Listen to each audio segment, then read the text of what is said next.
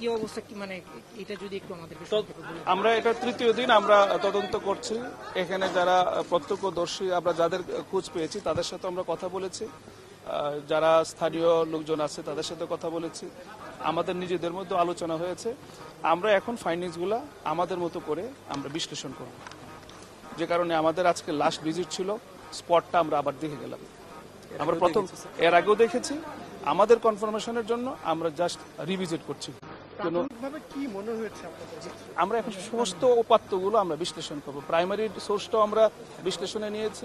Secondary even আপনাদের যে সমস্ত ফাইন্ডিংস এসছে আপনাদের বিভিন্ন মিডিয়াতেও কিন্তু অনেক কিছু এসছে। সিসি ফুটেজের যে বিষয়গুলো সেগুলো দিয়ে কি সব সবগুলো আমরা কালেকশন করে। বললাম primary data as well as secondary data দুটোই আমরা কিন্তু কালেকশন করেছি। আমার এখন পর্যন্ত নিয়ার অ্যাবাউট ফায়ার সার্ভিস সহ থার্টি প্লাস আমরা কথা বলেছি। ধন্যবাদ। ইব্রাহিম ভাই এই ওয়াহিদ মেনশনের দুজনকে আসামি করাও হয়েছে। জি জি। তো সেই তো ধরা যাচ্ছে না বা তাদের অবস্থান কি জি মামলার তদন্ত প্রক্রিয়ায় আমরা দেখেছেন এজাহান্নামী আসামি আছে এবং অজ্ঞাতনামা ও আসামি আছে। আমরা তদন্ত করে আসলে আমরা নিশ্চিত হতে চাচ্ছি যে কীভাবে এই অগ্নুৎপাতের সূত্রপাত ঘটেছে এবং কারা এর জন্য দায়ী। যেহেতু আমরা এটা তদন্ত করছি তদন্ত করার পর যখন আমরা এমন একটা পর্যায়ে পৌঁছাবো তখনই আমরা গ্রেফতারে আমরা যাব।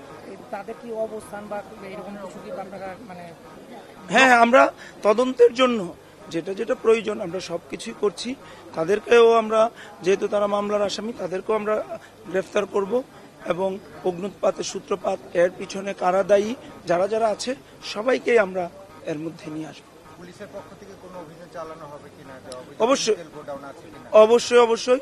এই যে কেমিক্যালের যে বিষয়গুলো এগুলো পুলিশ এবং অন্যান্য সংস্থা যারা আছে, সবাই আমরা সম্মিলিতভাবেই আমরা অভিযান পরিচালিত করব।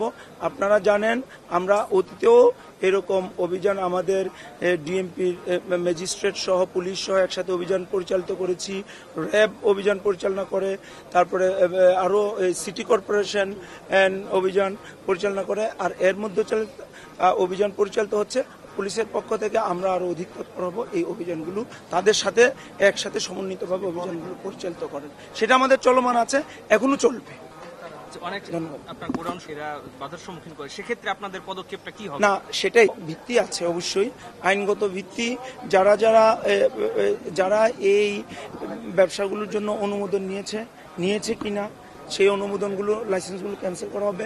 এখানে গোডাউনের অনুমতি নিয়েছে কিনা বা কীভাবে নিয়েছে, সেগুলো তাদের সাথে সমন্বিতভাবে আমাদের পুলিশ ফোর্স আমরা সহযোগিতা করব যেন এগুলো সহজেই সরঞ্জয় এবং জনমত তৈরি করব যে এভাবে আমার ভাইরা, আমাদের সন্তানরা এভাবে হারিয়ে যাবে, আমাদের মা, আমাদের কন্যা এভাবে হারিয়ে যাবে, এটা কোনোভাবেই উচিত না।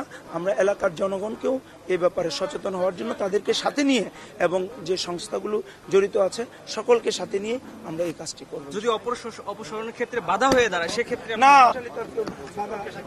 Thank you